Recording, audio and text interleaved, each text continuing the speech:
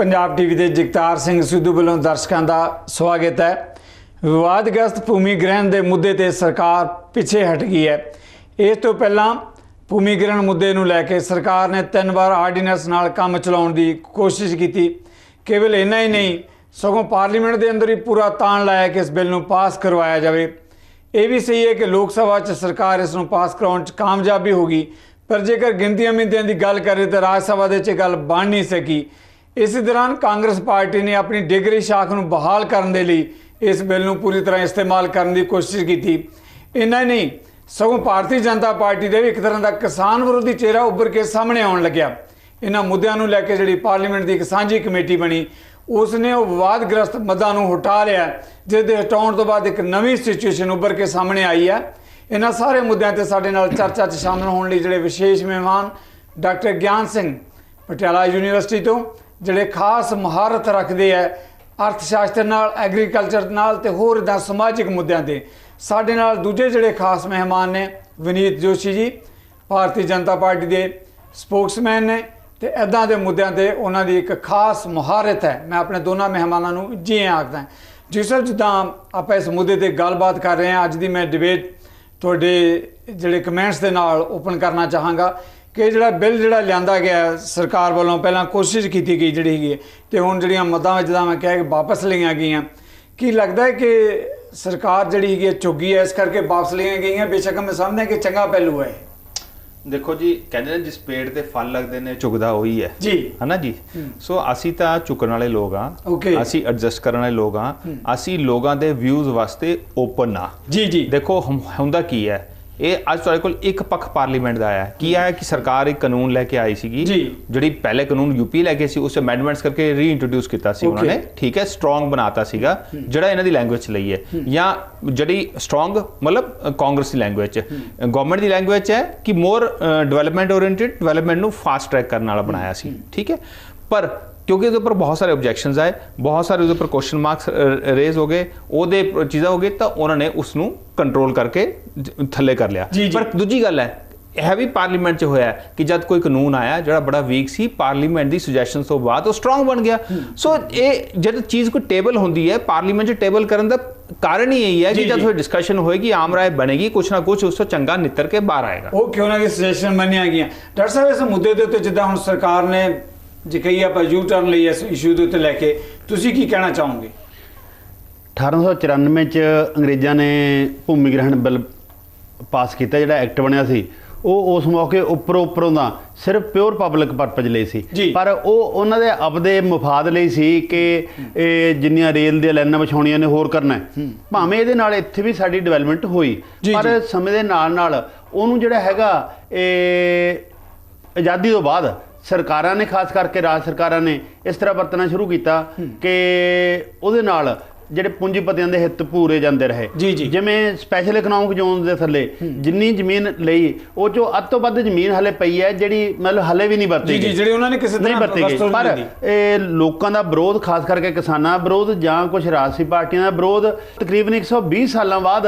ਇਹ 2014 ਚ ਇਹ ਪਾਸ ਹੋਇਆ ਸੀ ਇਹ ਜਿਹਨੂੰ ਮੁੜ ਕੇ ਬਦਲਣ ਦੀ- 2013 ਚ ਪਾਸ ਹੋਇਆ ਜਿਹਨੂੰ ਮੁੜ ਕੇ ਬਦਲਣ ਦੀ ਕੋਸ਼ਿਸ਼ ਕੀਤੀ ਗਈ। ਇੱਥੋਂ ਤੱਕ ਕਿ ਭਾਰਤੀ ਜਨਤਾ ਪਾਰਟੀ ਦੀ ਉਸ ਮੌਕੇ ਦੀ ਐਮਪੀ ਤੇ ਹੁਣ ਦੇ ਸਾਡੇ ਲੋਕ ਸਭਾ ਦੇ ਸਪੀਕਰ ਸੁਮਿਤਰਾ ਮਹਾਜਨ ਦੀ ਇਹ ਚੇਅਰਪਰਸਨ ਥੱਲੇ ਇੱਕ ਕਮੇਟੀ ਬਣੀ ਸੀ ਜਿਹਦੀਆਂ ਰეკਮੈਂਡੇਸ਼ਨਸ ਇੰਨੀਆਂ ਵਧੀਆ ਸੀ ਕਿ ਜਿਹੜੀਆਂ 2013 ਵਾਲੇ ਚ ਵੀ ਨਹੀਂ ਸੀ ਹੈਗੀਆਂ ਜੀ ਜੀ। ਤੇ ਜਿਹੜਾ ਇਹ ਕੀਤਾ ਗਿਆ ਸੀ ਇਹਦੇ ਵਿੱਚ ਜਿਹੜੀਆਂ ਗੱਲਾਂ ਨਾ ਤਾਂ ਸੋਸ਼ਲ ਇੰਪੈਕਟ ਦੇਖਿਆ ਗਿਆ ਤੇ ਨਾ ਫਾਰਮਰ ਦੀ ਕੰਸੈਂਟ ਦੇਖੀ ਗਈ। ਇੱਕ ਜਿਹੜੀ ਗੱਲ ਹੈਗੀ 2013 ਵਾਲੇ ਚ ਵੀ ਹਾਲੇ ਵੀ ਜਿਹੜਾ ਕੰਪਨਸੇਸ਼ਨ ਹੈ ਉਹ ਹੈਗਾ ਅਪ ਟੂ ਚਾਰ ਗੁਣਾ ਜਾਂ ਦੋ ਗੁਣਾ। ਅਪ ਟੂ ਦਾ ਮੀਨਿੰਗ ਬਹੁਤ ਟੇਢਾ ਹੁੰਦਾ ਤੇ ਛੋਟਾ। ਵੇਗ ਰੱਖਿਆ ਗਿਆ ਉਸ ਵੇਗ ਹੈ। ਵੇਗ ਹੈਗਾ। ਇਸ ਲਈ ਜਿਹੜਾ ਬਦਲਿਆ ਗਿਆ ਸੀ ਇਹ ਕਿਸਾਨ ਵਿਰੋਧੀ ਸੀ ਇਹ ਦੇਸ਼ ਵਿਰੋਧੀ ਸੀ ਇਹ ਸਾਡੀ ਸਮਾਜਿਕ ਸੁਰੱਖਿਆ ਅਨਾ- ਅਨਾਜ ਸੁਰੱਖਿਆ ਤੇ ਵੀ ਵੱਡਾ ਪ੍ਰਸ਼ਨ ਚਿੰਨ੍ਹ ਲਾਉਂਦਾ ਸੀ। ਜੀ ਜੀ ਮੈਂ- ਜਿਹਦੇ ਕਰਕੇ ਜਿਹੜਾ ਮੈਂ ਇੱਕ ਗੱਲ ਐਡ ਕਰਨਾ ਚਾਹੂੰਗਾ। ਜਿਹੜਾ 2013 ਦਾ ਬਿੱਲ ਸੀਗਾ ਉਸ ਬਿੱਲ ਦੇ ਅੰਦਰ ਕੁਝ 13 ਚੀਜ਼ਾਂ ਬਾਹਰ ਰੱਖੀਆਂ ਗਈਆਂ ਸੀ। ਜਿਵੇਂ ਰੇਲਵੇਜ਼। ਰੇਲਵੇਜ਼ 2013 ਵਾਲੇ ਲੈਂਡ ਐਕੁਇਸ਼ਨ ਬਿੱਲ ਦੇ ਅੰਦਰ ਨਹੀਂ ਸੀ। ਇਹਦਾ ਮਤਲਬ ਇਹ ਸੀ, ਰੇਲਵੇ ਦੇ ਪ੍ਰੋਜੈਕਟ ਵਾਸਤੇ ਜਿਹੜੀ ਜ਼ਮੀਨ ਐਕਵਾਇਰ ਹੋਣੀ ਸੀ, ਉਹ ਪੁਰਾਣੇ ਕਾਨੂੰਨਾਂ ਦੇ ਹਿਸਾਬ ਨਹੀਂ ਹੋਣੀ ਸੀ। ਰੇਲਵੇਜ਼ ਮਾਈਨਿੰਗ ਠੀਕ ਹੈ national highway authority of India ਇਸ ਤਰ੍ਹਾਂ ਕਰਕੇ 13 ਡਿਪਾਰਟਮੈਂਟ ਸੀਗੇ ਜਿਨ੍ਹਾਂ ਨੂੰ ਉਸ ਤੋਂ ਬਾਹਰ ਰੱਖਿਆ ਗਿਆ ਸੀਗਾ। ਇਹ ਕਾਂਗਰਸ ਨੇ ਬਹੁਤ ਵੱਡਾ ਧੋਖਾ ਕੀਤਾ ਗਿਆ ਸੀ। ਉਹ 13 okay. 13 ਅਸੀਂ ਵਿੱਚ ਲੈ ਲੈਣੇ ਇਹਦਾ ਮਤਲਬ ਕੀ ਹੋਇਆ ਕਿ ਨया ਬਿੱਲ ਆ ਗਿਆ ਨਏ ਬਿੱਲ ਦੇ ਸਾਹਮਣੇ ਕਿਸਾਨ ਸੁਰੱਖਿਤ ਹੋ ਗਿਆ ਲੇਕਿਨ ਜੇ ਹਾਈਵੇ ਵਾਸਤੇ ਜ਼ਮੀਨ ਆਣੀ ਹੈ ਤਾਂ ਪੁਰਾਣਾ ਕਾਨੂੰਨ ਲੱਗੂਗਾ। ਜੇ ਰੇਲਵੇ ਵਾਸਤੇ ਜ਼ਮੀਨ ਆਣੀ ਪੁਰਾਣਾ ਕਾਨੂੰਨ ਲੱਗੂਗਾ। ਉਸ ਗੱਲ ਨੂੰ ਵੀ ਐਪਰੀਸ਼ੀਏਟ ਕਰੋ ਕਿ ਅਸੀਂ ਉਹਨੂੰ ਵਿੱਚ ਲੈ ਕੇ ਆਏ। ਠੀਕ ਹੈ? ਹੁਣ ਠੀਕ ਹੈ ਹਾਂਜੀ ਹਾਂਜੀ ਦੱਸੋ ਕੁਝ ਕਹਿ ਸਕਦੇ ਮੈਂ ਕਿਸੇ ਪਾਰਟੀ ਵੱਲੋਂ ਨਹੀਂ ਆਇਆ।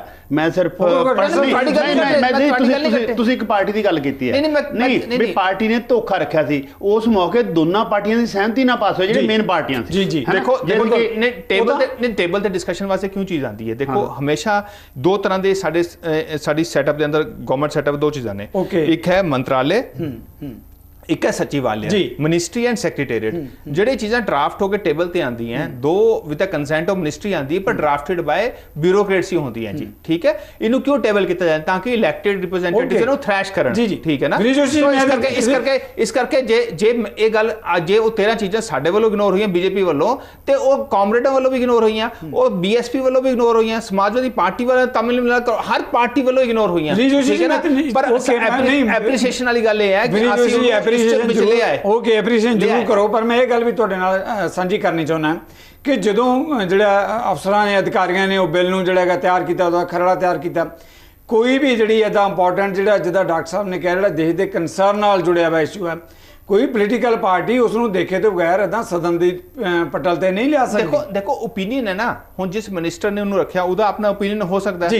ਠੀਕ ਹੈ ਨਾ? ਹਮੇਸ਼ਾ ਇਹ ਪ੍ਰੋਸੀਜਰ ਕਿਉਂ ਬਣਾਇਆ ਗਿਆ ਕਿ ਡਰਾਫਟ ਹੋਏਗਾ ਸੈਕਟਰੀਏਟ ਵੱਲੋਂ ਮਿਨਿਸਟਰ ਉਹਨੂੰ ਅਮੈਂਡਮੈਂਟਸ ਨਾਲ ਪੁੱਟ ਫਾਰਵਰਡ ਕਰੇਗਾ ਫਿਰ ਡਿਸਕਸ਼ਨ ਹੋਏਗੀ। ਇसी ਵਾਸਤੇ ਹੈ ਨਾ ਤਾਂ ਕਿ ਉਸਸੇ ਕੋਈ ਗਲਤੀ ਰਹਿ ਨਾ ਜਾਵੇ। ਠੀਕ ਹੈ ਨਾ? ਇਸ ਕਰਕੇ ਇਸ ਕੋਈ ਬੁਰਾ ਨਹੀਂ ਹੈ। ਉਹ ਲੈ ਕੇ ਆਏ। ਹੁਣ ਜੇ ਤਾਂ ਕੁਝ ਗੱਲਾਂ ਦੇ ਉੱਪਰ ਆਬਜੈਕਸ਼ਨ ਸੀਗਾ। ਜੇ ਉਹਨਾਂ ਆਬਜੈਕਸ਼ਨ ਉਹਦੇ ਉੱਪਰ ਨੰਬਰ ਵਾਈਜ਼ ਆਬਜੈਕਸ਼ਨ ਨਹੀਂ ਜਾਂਦੇ ਕਿ ਐਮਪੀਸ ਕਿੰਨੇ ਸੀ ਚੱਕਰ 'ਚ ਨਹੀਂ ਜਾਂਦੇ ਅਸੀਂ। ਅਦਰਵਾਈਜ਼ ਸਟਰੋਂਗ ਆਪੋਜੀਸ਼ਨ ਆਈ ਹੈ ਠੀਕ ਹੈ? ਵਿਦਨ ਪਾਰਟੀ ਵੀ ਆਈ ਹੈ। ਤੇ ਉਸ ਗੱਲ ਨੂੰ ਐਕਸੈਪਟ ਕਰਕੇ ਇਹਨਾਂ ਨੇ ਚੇਂਜ ਕਰ ਲਿਆ। ਸੋ ਇਹ ਖੁਸ਼ੀ ਦੀ ਗੱਲ ਹੈ ਕਿ ਬੀਜੇਪੀ ਕਿਹੋ ਜੀ ਪਾਰਟੀ ਹੈ ਐਨਡੀਏ ਕਿਹੋ ਜਿਹਾ ਗਰੁੱਪ ਹੈ ਜਿਹੜਾ ਓਪਨ ਟੂ ਸੁਜੈਸ਼ਨਸ ਹੈ ਜਿਹੜਾ ਚੀਜ਼ਾਂ। ਨੂੰ ਠੀਕ ਕਰਨਾ ਚਾਹੁੰਦਾ ਹੈ। ਠੀਕ ਹੈ? ਜਿੱਦਾਂ ਤੁਸੀਂ ਕਿਹਾ ਹੁਣ ਜਿਸ ਤਰ੍ਹਾਂ ਦੇਖੋ ਦੋ ਗੱਲਾਂ ਨੇ। ਮੈਂ ਕਦੀ ਕਦੀ ਨਾ ਇਹਨਾਂ ਗੱਲਾਂ ਨੂੰ ਪਿਛਲੀ ਵਾਰ ਐਗਜ਼ਾਮਪਲ ਦਾ ਦੁਬਾਰਾ ਦੇਣਾ। ਭਾਖੜਾ ਨਹਿਰ ਹੈ ਸਾਡੇ ਵਾਰ ਵਾਸਤੇ ਪੰਜਾਬੀ ਵੀ ਜਾਣਦੇ ਨੇ। ਹੁਣ ਭਾਖੜਾ ਨਹਿਰ ਤੋਂ ਜੇ ਫਾਜ਼ਿਲਕਾ ਤੱਕ ਪਾਣੀ ਜਾਣਾ ਹੈ ਫਾਜ਼ਿਲਕਾ ਮੰਨ ਲਓ ਸੁੱਖਾ ਹੈ ਨਹੀਂ ਵੈਸੇ ਉਹ ਤਾਂ ਸੇਮ ਹੈ ਪਰ ਸੁੱਖਾ ਇਲਾਕਾ ਮੰਨ ਲਓ। ਇਹਦਾ ਮਤਲਬ ਉਹ ਜਦ ਭਾਖੜੇ ਤੋਂ ਚੱਲੇਗੀ ਉਹ ਪਹਿਲੇ ਆਏਗੀ ਨੰਗਲ ਫਿਰ ਆਏਗੀ ਰੋਪੜ। ਰੋਪੜ ਤੋਂ ਬਾਅਦ ਫਿਰ ਆਏਗੀ ਲੁਧਿਆਣਾ। ਲੁਧਿਆਣੇ ਤੋਂ ਕ੍ਰਾਸ ਹੁੰਦੇ ਹੁੰਦੇ ਹੁੰਦੇ ਤਾਂ ਜਾ ਕੇ ਫਾਜ਼ਿਲਕਾ ਪਹੁੰਚੇਗੀ। ਹੁਣ ਰੋਪੜ ਵਾਲੇ ਕਹਿਣਗੇ ਵੀ ਸਾਡੇ ਕੋਲ ਤਾਂ ਪਾਣੀ ਦੀ ਜ਼ਰੂਰਤ ਹੀ ਨਹੀਂ ਹੈ ਠੀਕ ਹੈ? ਲੁਧਿਆਣੇ ਵਾਲੇ ਕਹਿੰਦੇ ਸਾਨੂੰ ਪਾਣੀ ਦੀ ਜ਼ਰੂਰਤ ਨਹੀਂ ਹੈ। ਅਸੀਂ. ਨਹਿਰ ਨਹਿਰ ਵਾਸਤੇ ਜਗ੍ਹਾ ਕਿਉਂ. ਦੇਈਏ? ਸੋ ਇਹਨਾਂ ਗੱਲਾਂ ਵਾਸਤੇ ਤੁਹਾਨੂੰ Okay, ਕਿਤੇ. ਐਕਵਾਇਰ ਕਰਨੀ ਪੈਣੀ ਪਬਲਿਕ ਦੇਖਣਾ ਪੈਂਦਾ ਹੈ। ਜੋਸ਼ੀ ਜਿਹੜਾ- Okay, examples ਜਿਹੜਾ- ਮਤਲਬ ਹੁਣ ਅਸੀਂ ਇਹ ਕਹੀਏ ਕਿ ਇੱਥੇ ਪਾਣੀ ਉੱਥੋਂ ਪਾਣੀ ਉੱਥੇ ਜਾਣਾ ਹੈ ਮੇਰੇ ਵਿੱਚ ਦੇ ਲੋਕਾਂ ਕੋਲ ਪਾਣੀ ਹੈਗਾ ਤੇ ਉਹਨੂੰ ਨਹੀਂ ਪਾਣੀ ਕਿਤੇ ਨਾ ਕਿਤੇ ਸਰਕਾਰ ਨੂੰ ਸਭ ਦੇ ਵਾਸਤੇ ਸੋਚਣਾ ਪੈਂਦਾ ਜੀ ਹੈ। ਜੀ ਸਰਕਾਰ ਚੁੱਕੀ ਹੈ ਪਰ ਦਰਖਤ ਥੋੜਾ ਦੇਰ ਨਾਲ ਸਾਹਿਬ ਇੱਥੇ ਤੁਸੀਂ। ਇੱਕ ਗੱਲ ਇਹਨਾਂ ਦੀ ਕਰਨਾ ਚਾਹੁੰਦਾ। ਇਹ ਬਹੁਤੇ ਜ਼ਿਆਦਾ ਪਿਓਰ ਪਬਲਿਕ ਪਰਪਸ ਲਈ ਲੋਕਾਂ ਨੇ ਅਪੋਜ਼ ਨਹੀਂ ਕੀਤਾ ਐਕਸੈਪਟ ਜਿਵੇਂ ਡੈਮ ਬਣਾਉਣਾ ਜਿਹਦੇ ਨਾਲ ਬਹੁਤ ਲੋਕ ਉੱਜੜਦੇ ਨੇ। ਸਾਡਾ ਵਾਤਾਵਰਣ ਖਰਾਬ ਹੁੰਦਾ ਹੈ। ਤੇ ਜਿਵੇਂ ਤੁਸੀਂ ਰੇਲਵੇ ਦੀ ਗੱਲ ਕੀਤੀ ਹੈ ਰੇਲਵੇ ਜਾਂ ਪਿਓਰ ਪਬਲਿਕ ਪਰਪਸ ਲਈ ਤਾਂ ਲੋਕ ਡੋਨੇਟ ਵੀ ਕਰ ਦਿੰਦੇ ਆ। ਡੋਨੇਟ ਵੀ ਕਰਦੇ ਨੇ। ਰੇਲਵੇ ਵਾਲੀ ਗੱਲ ਮੈਂ ਰੇਲਵੇ ਪੁਰਾਣੇ ਐਕਟ ਨਹੀਂ, ਨਹੀਂ, 1800 ਵਾਲੇ ਐਕਟ ਨਾਲ ਪਰ ਜਿਸ ਤਰ੍ਹਾਂ ਹੁਣ ਕੁਹੜਾ ਫੇਰਿਆ ਜਾ ਰਿਹਾ ਸੀ ਇਹ ਸਮਾਜਿਕ ਪ੍ਰਭਾਵ ਨੂੰ ਇਗਨੋਰ ਕਰਕੇ ਕੰਪਨਸੇਸ਼ਨ ਨੂੰ ਕੰਸੈਂਟ ਵਾਲੀ ਗੱਲ ਸੀ ਜਿਹੜੀ। ਕਿ ਜਿਨ੍ਹਾਂ ਦੀ ਜ਼ਮੀਨ ਲੈਣੀ ਹੈ ਪ੍ਰਾਈਵੇਟ ਪਰਪਸ ਲਈ ਲੈਣੀ ਹੈ ਉਹ ਤੇ ਕੰਸੈਂਟ ਕਿਉਂ ਨਾ ਹੋਵੇ ਮੈਂ ਇੱਕ ਮਿੰਟ ਮੇਰੀ ਗੱਲ ਸਮਝੋ ਜਿਹੜੀ। ਪਬਲਿਕ ਪ੍ਰਾਈਵੇਟਸ਼ਿਪ ਵਾਲੀ ਗੱਲ ਹੈ। ਸਰਕਾਰ ਕਿਉਂ ਪਬਲਿਕ ਪ੍ਰਾਈਵੇਟ ਪਾਰਟਨਰਸ਼ਿਪ ਜਾਵੇ ਇਹ ਤਾਂ ਅਰਬੀ ਉਠ ਵਾਲੀ ਗੱਲ ਹੈ ਪਹਿਲਾਂ ਉਹ ਠੰਡ ਤੋਂ ਮਾਰਾ ਡਰਦਾ ਮਾਰਾ ਸਿਰ ਲੁਕਾਉਣ ਲਈ ਸ਼ੈਲਟਰ ਮੰਗਦਾ। ਫਿਰ ਧੜ ਫਿਰ ਅਖੀਰ ਤੇ ਅਰਬੀ ਉਠ ਅੰਦਰ ਹੁੰਦਾ ਤੇ ਜਿਹੜਾ ਮਤਲਬ ਗਰੀਬ ਮਕਾਨ ਮਾਲਕ ਹੁੰਦਾ ਬਾਹਰ ਹੁੰਦਾ ਜਿਹੜੀ ਪਬਲਿਕ ਹੈ ਉਹਦਾ ਪੈਸਾ ਇੱਕ ਇੱਕ ਪੈਸਾ ਟੈਕਸ ਦਾ ਇਕੱਠਾ ਹੋ ਕੇ ਆਇਆ ਹੈ ਜੋ ਜੋ ਅਸੀਂ ਪ੍ਰਾਈਵੇਟ ਨੂੰ ਪਾਵਾਂਗੇ ਅਖੀਰ ਤੇ ਪ੍ਰਾਈਵੇਟ ਰਹਿ ਜਾਂਦਾ। ਮੈਂ ਇੱਕ ਸਰ, ਮੈਂ ਮਰੂਤੀ ਸੁਜ਼ੂਕੀ ਦੀ ਐਗਜ਼ਾਮਪਲ ਦਿੰਦਾ ਹੈ। ਮਰੂਤੀ ਸੁਜ਼ੂਕੀ ਦੇ ਵਿੱਚ ਅਸੀਂ ਪ੍ਰਾਈਵੇਟ ਨੂੰ ਪਾਇਆ। ਪ੍ਰਾਈਵੇਟ ਤਾਂ ਹੁਣ ਕਿੱਥੇ ਰਹਿ ਗਿਆ? ਸਰਕਾਰ ਕਿੱਥੇ ਗਈ? ਨਾਲੇ ਪ੍ਰੋਫਿਟ ਅਰਨਿੰਗ ਕਰ ਸੀ ਸਰ, Okay, ਮੈਂ- ਮੈਂ- debate ਤੋਂ ਪਹਿਲਾਂ ਅਸੀਂ ਇੱਕ- ਤੁਹਾਡੇ ਇੱਕ- comment ਇੱਕ ਚਾਹੁੰਦੇ ਹਾਂ। ਸੈਕਿੰਡ ਇੱਕ ਸੈਕਿੰਡ 2014 ਦਾ ਜਿਹੜਾ ਸਾਡਾ ਬਿੱਲ ਆਇਆ ਹੈ ਉਸ ਬਿੱਲ ਦੇ ਅੰਦਰ ਅਸੀਂ ਬੜੀ ਕਲੈਰਿਟੀ ਨਾਲ ਕਿਹਾ ਹੈ ਕਿ ਇਹਦੇ ਐਕਟ ਤਹਿਤ ਇੱਕ ਇੰਚ ਜ਼ਮੀਨ ਵੀ ਕਿਸੇ ਪ੍ਰਾਈਵੇਟ ਅਦਾਰੇ ਵਾਸਤੇ ਨਹੀਂ ਲਿੱਤੀ ਜਾਏਗੀ। ਅਗਰ ਕੋਈ public private owner joint project ਵੀ ਬਣੇਗਾ ਉਹਦੀ ਓਨਰਸ਼ਿਪ ਗਵਰਨਮੈਂਟ ਕੋਲ ਹੋਵੇਗੀ ਠੀਕ ਹੈ? ਜਦ ਇਹ ਕ੍ਰਾਈਟੇਰੀਅਨ ਦੱਸਦਾ ਕਿ ਇਹਦੇ ਅੰਦਰ ਕਿਸੇ ਟਾਟਾ ਬਿਰਲਾ ਵਾਸਤੇ ਰਿਲਾਇੰਸ ਵਾਸਤੇ ਅਦਾਨੀ ਵਾਸਤੇ ਜ਼ਮੀਨ ਨਹੀਂ ਲਿੱਤੀ ਜਾਏਗੀ ਤਾਂ ਇਹ ਪ੍ਰਸ਼ਨ ਪ੍ਰਾਈਵੇਟ ਵਾਲਾ ਇਸ ਚ ਆਂਦਾ ਹੀ ਨਹੀਂ ਹੈ। ਪਰ ਹਾਂ ਜਦ ਸਾਰਿਆਂ ਦੀ ਇੱਕ ਮਤ ਬਣੀ ਕੰਸੈਂਟ ਵਾਲਾ ਕਲੌਜ਼ ਜਾਂ ਫਿਰ ਜਿਹੜਾ ਆਪਣਾ ਸੋਸ਼ਲ ਇੰਪੈਕਟ ਵਾਲਾ ਕਲੌਜ਼ ਹੈ ਠੀਕ ਜੀ। ਹੈ ਜਾਂ 1 ਕਿਲੋਮੀਟਰ ਅੱਗੇ ਪਿੱਛੇ ਉਹਦਾ ਕਲੌਜ਼ ਹੈ ਉਹ ਸਭ ਕਲੌਜ਼ 6 ਡ੍ਰੌਪ ਕੀਤੇ ਨੇ ਕੋਈ ਗੱਲ ਨਹੀਂ ਅੱਛਾ ਹੈ। ਮੈਂ ਉਮੀਦ ਕਰਦਾ ਕਿ ਹੁਣ ਸਾਡੇ ਦੇਸ਼ ਦੇ ਅੰਦਰ ਪ੍ਰੋਗਰੈਸ ਜਿਹੜਾ ਹੈ ਉਹ ਫਾਸਟ ਹੋਏਗਾ ਔਰ ਅਗਰ ਇਸ ਤੋਂ ਬਾਅਦ ਵੀ ਕੋਈ ਗੜਬੜ ਹੋਏਗੀ ਤਾਂ ਇੱਕ ਸਾਲ ਬਾਅਦ ਪਾਰਲੀਮੈਂਟ ਦੁਆਰਾ ਡਿਸਕਸ ਕਰ ਲੇਗੀ ਉਸ ਜੀ ਚੀਜ਼ ਜੀ। ਅਸੀਂ ਦੁਬਾਰਾ ਇਸ ਮੁੱਦੇ ਤੇ ਆਉਨੇ ਆ ਸਾਡੇ ਮਹਿਮਾਨ ਜਿਹੜਾ ਭੂਮੀ ਅਧਿਗ੍ਰਹਿਣ ਬਿੱਲ ਦੇ ਮੁੱਦੇ ਜਿਹੜਾ ਸਰਕਾਰ ਨੇ ਨਵਾਂ ਸਟੈਂਡ ਲਿਆ ਉਹਦੇ ਤੇ ਕੀ ਪ੍ਰਸਥਿਤੀਆਂ ਉੱਭਰ ਕੇ ਸਾਹਮਣੇ ਆਈਆਂ। ਹੁਣ ਵਕਤ ਹੈ ਕਿ ਛੋਟੇ ਜਿਹੇ ਬ੍ਰੇਕ ਦਾ। ਬ੍ਰੇਕ ਦੇ ਬਾਅਦ ਅਸੀਂ ਇਸ ਮੁੱਦੇ ਤੇ ਚਰਚਾ ਜਾਰੀ ਰੱਖਾਂਗੇ।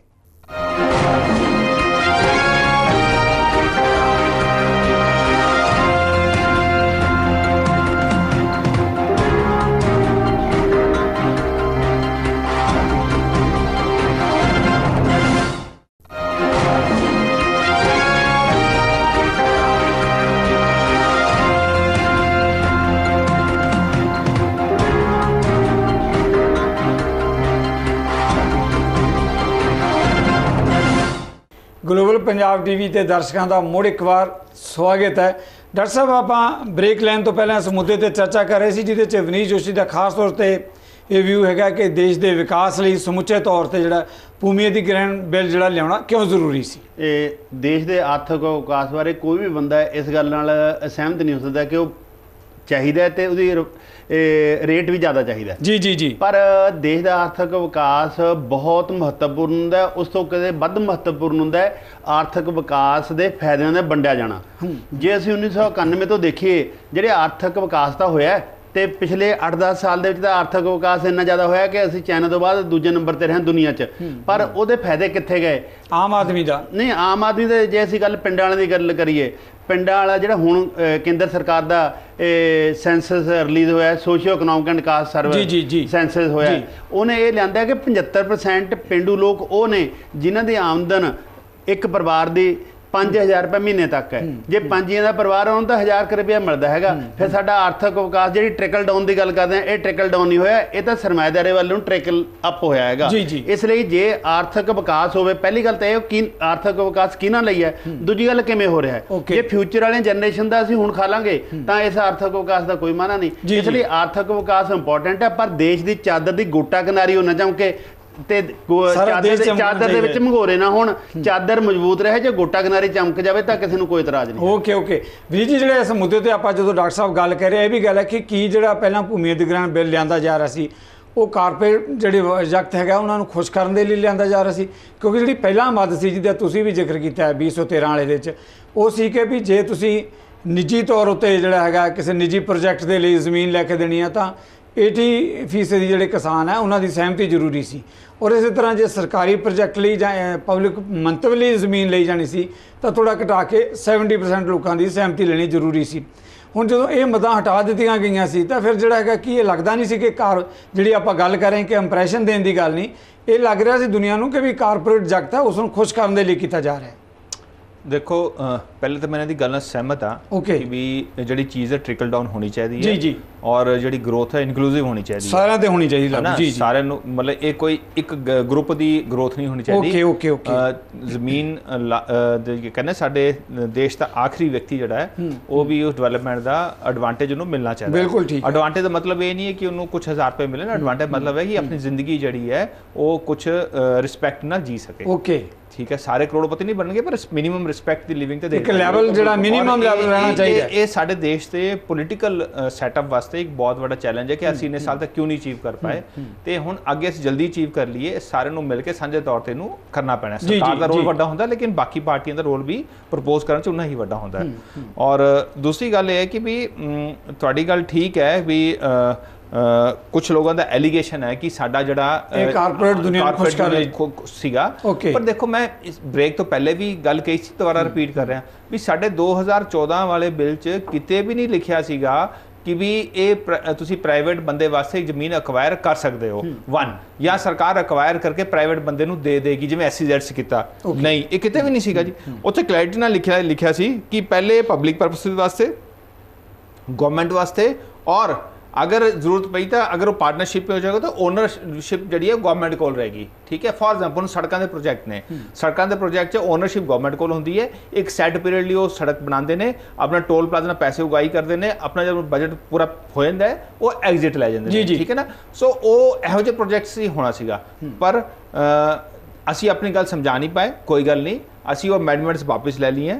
ਜਿਹੜੀਆਂ ਜਿਨ੍ਹਾਂ amendments- ਤੇ ਜਿਨ੍ਹਾਂ ਤੇ ਇਤਰਾਜ਼ ਸੀਗਾ ਔਰ ਹੁਣ ਸਭ ਦੇ ਕੰਸੈਂਸਸ ਕੀਤਾ ਆ। ਰਿਹਾ. ਉਮੀਦ ਕਰਦੇ ਹਾਂ ਕਿ ਹੁਣ ਦੇਸ਼ ਹੈ, ਫਟਾਫਟ ਜਿਹੜਾ ਪ੍ਰੋਜੈਕਟ ਓਕੇ ਉਹ ਓਕੇ ਅੱਗੇ ਵਧਣਗੇ। ਜੀ ਮੈਂ ਜੀ ਮੈਂ ਅਗਲੇ ਕੁਐਸਚਨ ਤੇ ਜਾਣ ਤੋਂ ਪਹਿਲਾਂ ਜਿਹੜੀਆਂ ਤੁਸੀਂ ਕਿਹਾ ਕਿ ਕੰਸੈਂਸਸ ਬਣੀਆਂ ਸਹਿਮਤੀ ਲਈ ਹੈ ਮੈਂ ਕੁਝ ਮਦਾਂ ਆਪਣੇ ਦਰਸ਼ਕਾਂ ਦੇ ਵੀ ਧਿਆਨ ਦੇ ਵਿੱਚ ਲਿਆਉਣੀਆਂ ਚਾਹੁੰਦਾ। ਉਹਦੇ 'ਚ ਇਹ ਹੈ ਕਿ ਜਿੱਦਾਂ 80 ਤੇ 70% ਵਾਲੀ ਜਿਹੜੀ ਮਦ ਸੀਗੀ ਉਸ ਨੂੰ ਜਿਹੜਾ ਕਿ ਵਾਪਸ ਲਿਆਂਦਾ ਜਾ ਰਿਹਾ ਹੈ। ਇਸੇ ਤਰੀਕੇ ਨਾਲ ਜਿਹੜਾ ਇੱਕ ਪ੍ਰੋਜੈਕਟ ਸੀਗਾ 5 ਸਾਲ ਤੱਕ ਜੋ ਮੁਕੰਮਲ ਨਹੀਂ ਹੁੰਦਾ, ਤਾਂ ਉਹ ਜਿਹੜੀ ਜ਼ਮੀਨ ਮਾਲਕ ਜਿਹੜਾ ਹੈਗਾ ਉਸ ਨੂੰ ਵਾਪਸ ਲੈ ਸਕਦਾ ਇਸੇ ਤਰ੍ਹਾਂ ਜ਼ਮੀਨ ਜਿਹੜਾ ਹੈਗਾ, ਮੁੱਦੇ ਦੇ ਉੱਤੇ ਜੇ ਕੋਈ ਕੱਲ ਨੂੰ ਕੋਈ ਹੇਰਾਫੇਰੀ ਨਜ਼ਰ ਆਉਂਦੀ ਹੈ, ਕੋਈ ਅਧਿਕਾਰੀਆਂ ਨੇ ਮਿਲ ਕੇ ਕੁਝ ਕੀਤਾ ਇਸ ਤਰੀਕੇ ਨਾਲ, ਤਾਂ ਹੁਣ ਕਿਸਾਨ ਕੋਲੇ ਹੱਕ ਰਹੇਗਾ ਕਿ ਕਾਨੂੰਨ ਦਾ ਦਰਵਾਜ਼ਾ ਖੜਾ ਸਕਦਾ ਅਦਾਲਤੀ ਚਾਰਾਜੋਈ ਵੀ ਕਰ ਸਕਦਾ ਜਿੱਦਾਂ ਡਾਕਟਰ ਸਾਹਿਬ ਨੇ ਗੱਲ ਕਹੀ ਸੀ, ਸਮਾਜਿਕ ਪ੍ਰਭਾਵ, ਇਹ ਵੀ ਦੇਖਿਆ ਜਾਏਗਾ ਕਿ ਜਿਸ ਖੇਤਰ ਦੇ ਵਿੱਚ ਭੂਮੀ ਅਧਿਗ੍ਰਹਿਣ ਜਿਹੜੀ ਭੂਮੀ ਲਈ ਜਾਏਗੀ, ਉਹਦਾ ਸਮਾਜਿਕ ਇੰਪੈਕਟ ਜਿਹੜਾ ਹੈਗਾ ਉਸ ਖਿੱਤੇ ਦੇ ਉੱਤੇ ਕੀ ਪਏਗਾ? ਇਹਦੇ ਜਿੱਦਾਂ ਤੁਸੀਂ ਜ਼ਿਕਰ ਕੀਤਾ, ਪਹਿਲਾਂ ਇਸ ਕਿ 1 ਕਿਲੋਮੀਟਰ ਦਾ ਘੇਰਾ ਸ਼ਾਮਲ ਸੀ। ਹੁਣ ਉਸ ਨੂੰ ਜਿਹੜਾ ਹੈਗਾ ਸ਼ਾਮਲ ਨਹੀਂ ਕੀਤਾ ਗਿਆ, ਜਿੱਦਾਂ ਤੁਸੀਂ ਕਿਹਾ, ਸਾਰੀਆਂ ਗੱਲਾਂ ਵਾਪਸ ਲੈਣ ਦੇ ਨਾਲ ਡੈਫੀਨਿਟਲੀ ਇੱਕ ਰਿਲੀਫ ਤਾਂ ਮਿਲੀ ਹੈ। ਡਾਕਟਰ ਸਾਹਿਬ, ਇਸ ਮੁੱਦੇ ਦੇ ਉੱਤੇ ਮੈਂ ਅੱਗੇ ਚਰਚਾ ਨੂੰ ਜਾਰੀ ਰੱਖਦਾ ਹਾਂ, ਇਹ ਕਹਿਣਾ ਚਾਹੁੰਦਾ ਕਿ ਵੀ ਜਦੋਂ ਪਹਿਲਾਂ ਇਸ ਬਿੱਲ ਨੂੰ ਲਿਆਂਦਾ ਗਿਆ, ਮਤਾਂ ਸ਼ਾਮਲ ਕੀਤੀਆਂ ਗਈਆਂ, ਦੇਸ਼ ਦੇ ਵਿਕਾਸ ਦੀ ਗੱਲ ਜਿੱਦਾਂ ਤੁਸੀਂ ਪਹਿਲਾਂ ਜ਼ਿਕਰ ਕੀਤਾ ਕਿ ਕੀ ਦੇਸ਼ ਦੇ ਵਿਕਾਸ ਦੇ ਲਈ ਕਿਸਾਨ ਨੂੰ ਬਲੀ ਦਾ ਬੱਕਰਾ ਕਿਉਂ ਬਣਾਇਆ ਜਾਏ? ਮੈਂ ਤੁਹਾਡੇ ਸਾਹਮਣੇ ਜਿਹੜੀ ਇੱਕ ਛੋਟੀ ਜੀ ਫਿਗਰ ਜਿਹੜੀ ਕਿ ਬਹੁਤ ਕੰਬਾ ਦੇਣ ਵਾਲੀ ਹੈ ਕਿ ਦੇਸ਼ ਦੇ ਕਿਸਾਨ ਜਿਹੜੀਆਂ ਪਾਰਲੀਮੈਂਟ ਦੇ ਵਿੱਚ ਜਿਹੜੀਆਂ ਰੱਖੀਆਂ ਗਈਆਂ ਫਿਗਰਸ ਹੈ ਕਿ ਪਿਛਲੇ ਸਮੇਂ 'ਚ ਜਿਹੜੀ ਫਿਗਰ ਸਾਹਮਣੇ ਆਈਆਂ 2.5 ਲੱਖ ਤੋਂ ਉੱਪਰ ਦੇਸ਼ ਦਾ ਕਿਸਾਨ ਸ਼ਾਇਦ ਇਹ ਫਿਗਰਸ ਹੁਣ ਹੋਰ ਵੀ ਉੱਪਰ ਚਲੀਆਂ ਗਈਆਂ ਹੋਣਗੀਆਂ, ਖੁਦਕਸ਼ੀਆਂ ਕਰ ਚੁੱਕਾ ਹੈ। ਇਹ ਜਿਹੜੀ ਕੀ ਜਿਹੜਾ ਵਿਕਾਸ ਹੈ? 2 ਲੱਖ 96466 ਹੈ 1995 ਤੋਂ ਲੈ ਕੇ 2014 ਤੱਕ। ਓਕੇ ਓਕੇ ਇੱਥੋਂ ਤੱਕ ਪਹੁੰਚ ਗਈ ਹੈ ਤਿੰਨ ਦਾ ਅੰਕੜਾ ਜਿਹੜੇ ਇਹ- ਸਿਰਫ ਰਿਪੋਰਟਡ ਸੁਸਾਈਡਸ ਹੈ। ਜੀ, ਜੀ। ਅਦਰਵਾਈਜ਼ ਨੰਬਰ ਤਾਂ ਬਹੁਤ ਜ਼ਿਆਦਾ ਹੈ। ਓਕੇ ਜਿਹੜੀਆਂ ਪੁਲਿਸ ਨੇ ਕਈ ਕਾਰਨਾਂ ਕਰਕੇ ਸ਼ਾਮਲ ਨਹੀਂ ਕਰਦੇ ਨੇ ਰੱਖ ਲੀਆਂ ਜੀ ਕਰਦੇ ਨੇ ਜਿਵੇਂ ਹੁਣ ਸਟੇਟਾਂ ਕਰ ਰਹੀਆਂ ਨੇ ਕਿ ਸਾਡੇ ਪੰਜਾਬ ਦੀਆਂ ਸਿਰਫ 24 ਖੁਦਕਸ਼ੀਆਂ ਦਿਖਾ ਰਹੀਆਂ ਨੇ ਕੋਈ ਅਖਬਾਰ ਹੈ ਜਿੱਦਨ ਖੁਦਕਸ਼ੀਆਂ ਤੋਂ ਬਿਨਾਂ ਜੀ ਉਸ। ਮੁੱਦੇ ਤੇ ਡਾਕਟਰ ਸਾਹਿਬ ਅਸੀਂ ਜਾਣਨਾ ਚਾਹੁੰਦੇ ਹਾਂ ਕਿ ਵੀ ਆਖਰਕਾਰ ਜਦੋਂ ਕਿਸਾਨ ਦੀ ਹਾਲਤ ਇਹ ਬਣੀ ਵੀ ਹੈ ਤਾਂ ਉਸ ਨੂੰ ਫਿਰ ਬਲੀ ਦਾ ਬੱਕਰਾ ਬਣਾਉਣ ਦੇ ਲਈ ਵਿਕਾਸ ਦੀ ਗੱਲ ਉਹਦੇ ਨਾਂ ਤੇ ਕਿਉਂ ਕੀਤੀ ਜਾ ਰਹੀ ਹੈ? ਇਹ ਦਰਅਸਲ 1991 ਜਦੇ ਜਦੋਂ ਅਸੀਂ ਨਵੀਆਂ ਆਰਥਿਕ ਨੀਤੀਆਂ ਅਪਣਾਈਆਂ। ਉਸ ਤੋਂ ਬਾਅਦ ਜਿਹੜਾ ਕਾਰਪੋਰੇਟ ਮਾਡਲ ਹੈ ਉਹਨੂੰ ਵੱਖ-ਵੱਖ ਸਰਕਾਰਾਂ ਜਿਹੜੀਆਂ ਆਈਆਂ ਦੋਨੇ ਤਰ੍ਹਾਂ ਦੀਆਂ ਉਹਨਾਂ ਨੇ ਇੰਨਾ ਪ੍ਰਮੋਟ ਕੀਤਾ ਕਿ ਇਹ ਕਾਰਪੋਰੇਟ ਖੇਤੀਬਾੜੀ ਦਾ ਏਜੰਡਾ ਹੈ। ਜਿਹੜਾ ਨਾ ਤਾਂ ਕਿਸਾਨੀ ਦੇ ਹੱਕ 'ਚ ਹੈ ਨਾ ਦੇਸ਼ ਦੇ ਹੱਕ 'ਚ ਹੈ. ਕਿਉਂਕਿ ਜਿੰਨੇ ਲੋਕ ਹੁਣ ਖੇਤੀ ਦੇ ਡਿਪੈਂਡੈਂਟ ਆ ਉਹ ਹੈਗੇ 53% ਜੇ ਇਹਨਾਂ ਨੂੰ ਇੱਥੋਂ ਕੱਢਾਂਗੇ ਲੈ ਕੇ ਕਿੱਥੇ ਜਾਵਾਂਗੇ? ਇੰਡਸਟਰੀ 'ਚ EMPLOYMENT ਗਰੋਥ ਰੇਟ ਨੈਗੇਟਿਵ ਹੈ। ਸਰਵਿਸ ਥੋੜਾ ਬਹੁਤਾ ਹੈਗਾ ਉਹ ਇਹਨਾਂ ਲਈ ਨਹੀਂ ਕਿ ਜਿਹੜੇ ਬੰਦੇ ਚੰਗੀ ਇੰਗਲਿਸ਼ ਬੋਲ ਸਕਦੇ ਨੇ ਕੰਪਿਊਟਰ ਦਾ ਨੌਲੇਜ ਆ ਉਹਨਾਂ ਲਈ ਹੈਗਾ।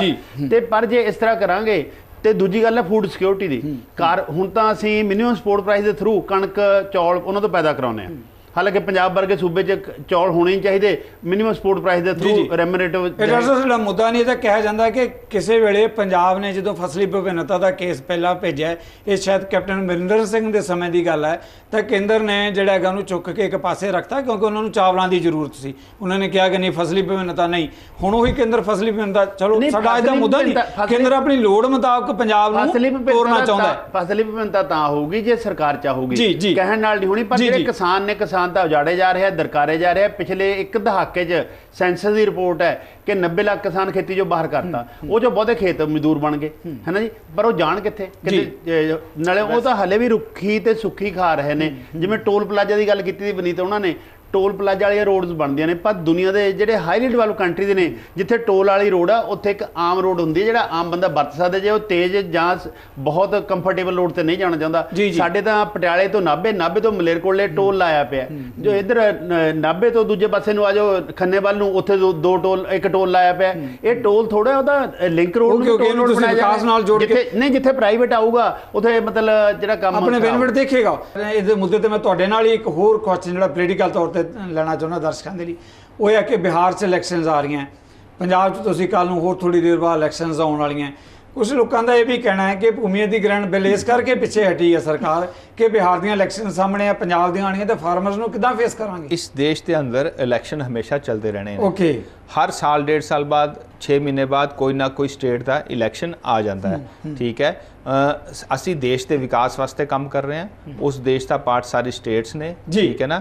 ਔਰ ਇਹਨਾਂ ਇਲੈਕਸ਼ਨਾਂ ਨਾਲ ਜੋੜਨਾ ਨਹੀਂ ਜੋੜਨਾ. ਨਹੀਂ ਚਾਹੀਦਾ। ਇਹ ਬੜਾ ਕਲੈਰਿਟੀ ਨਾਲ ਹੈ। ਇਹ ਸਾਡੇ ਸਰਕਾਰ ਦੀ ਜਿਹੜੀ ਹੈ ਇੱਕ ਤਰਫ ਅਗਰ ਅਸੀਂ ਬਿੱਲ ਲੈ ਕੇ ਆਏ ਅਸੀਂ ਥੋੜੇ ਦੇਰ ਅੜ ਰਹੇ ਦੂਜੇ ਪਾਸੇ ਅਸੀਂ ਹੱਥ ਜੋੜ ਕੇ ਤੁਹਾਡੀ ਗੱਲ ਮੰਨ ਲਈ ਅਮੈਂਡਮੈਂਟ ਸਾਨੂੰ ਸੂਟ ਕਰਦੇ ਸੀ ਨਹੀਂ ਕਰਦੇ ਸੀ ਸਾਨੂੰ ਠੀਕ ਲੱਗਦੇ ਨਹੀਂ ਲੱਗਦੇ ਸੀ ਅਸੀਂ ਮੰਨ ਲਏ ਬਿੱਲ ਪਾਸ ਹੋ ਜਾਏਗਾ। ਕਾਨੂੰਨ ਲਾਗੂ ਹੋ ਜਾਏਗਾ ਉਸ ਤੋਂ ਬਾਅਦ। ਉਸ ਤੋਂ ਬਾਅਦ ਜੇ ਕੋਈ ਹੋਰ ਪ੍ਰੋਬਲਮ ਆਏਗੀ ਓਕੇ ਵਿਨੀ ਜੀ ਓਕੇ ਓਕੇ ਸਮਾਂ ਬਿਲਕੁਲ ਬਿਲਕੁਲ ਸਿਰਫ ਬਿਲਕੁਲ ਇੱਕ- ਸੰਖੇਪ ਇੱਕ ਕਮੈਂਟ ਉਹਨਾਂ ਦੀ ਗੱਲ ਤੇ ਕਿ ਇਹਨਾਂ ਨੇ ਮੰਨ ਲਈ ਪਰ ਜਦ 2017 ਚ ਰਾਜ ਸਭਾ ਚ ਇਹਨਾਂ ਦੀ ਗਿਣਤੀ ਵੱਧ ਗਈ ਫਿਰ ਕੀ ਇਸ ਗੱਲ ਤੇ ਖੜਨਗੇ ਇਹ ਇਹਨਾਂ ਨੂੰ ਦੱਸਣਾ ਚਾਹੀਦਾ ਹੈਗਾ। ਓਕੇ ਓਕੇ ਵਿਨੀ ਜੀ ਲੋਕ ਭਰੋਸਾ ਦਿਓ ਦੇਖੋ- ਚੈਨਲ ਦੇ ਉੱਤੇ ਸਾਡੇ ਦਰਸ਼ਕਾਂ ਦੇਖੋ ਮੈਂ ਉਮੀਦ ਕਰਦਾ ਕਿ ਜਿਹੜੀ ਸਾਡੀ ਟਾਪ ਲੀਡਰਸ਼ਿਪ ਹੈ ਜਿਵੇਂ ਅੱਜ ਨੀਵੀ ਹੈ ਜਿਵੇਂ ਅੱਜ ਹੱਥ ਜੋੜ ਕੇ ਖੜੀ ਹੈ ਉਹ ਆਉਣ ਵਾਲੇ ਕਈ ਸਾਲਾਂ ਤੱਕ ਰਾਜ ਕਰਦੇ ਹੋਏ ਇਵੇਂ ਹੀ ਐਕਟ ਕਰੇਗੀ। ਤਾਂ। ਹੀ ਤਾਂ ਹੀ ਲੋਕ ਭਲਾਈ ਹੋ ਪਾਏਗੀ ਔਰ ਤਾਂ ਹੀ ਸਾਨੂੰ ਲੋਕ ਸਾਨੂੰ ਲੰਬਾ ਰਾਜ ਦੇਣਗੇ। ਓਕੇ ਓਕੇ ਡਾਕਟਰ ਸਾਹਿਬ ਲਾਸਟ ਕਮੈਂਟ ਤੁਹਾਡੇ ਕੋਲ ਹੈ ਕਿ ਭੂਮੀ ਅਧਿਗ੍ਰਹਿਣ ਬਿੱਲ ਦੀਆਂ ਜਿਹੜੀਆਂ ਵਿਵਾਦਤ ਮੱਦਾਂ ਸੀ ਉਹ ਵਾਪਸ ਲਈਆਂ ਗਈਆਂ। ਇਹਦਾ ਕ੍ਰੈਡਿਟ ਸਰਕਾਰ ਨੂੰ ਜਾਏਗਾ ਪੋਲੀਟੀਕਲ ਪਾਰਟੀ ਨੂੰ ਜਾਏਗਾ ਜਾਂ ਤੁਹਾਡੇ ਵਰਗੇ ਚਿੰਤਕਾਂ ਨੂੰ ਜਾਏਗਾ ਦੇਸ਼ ਦੇ ਲੋਕਾਂ ਨੂੰ ਜਾਏਗਾ।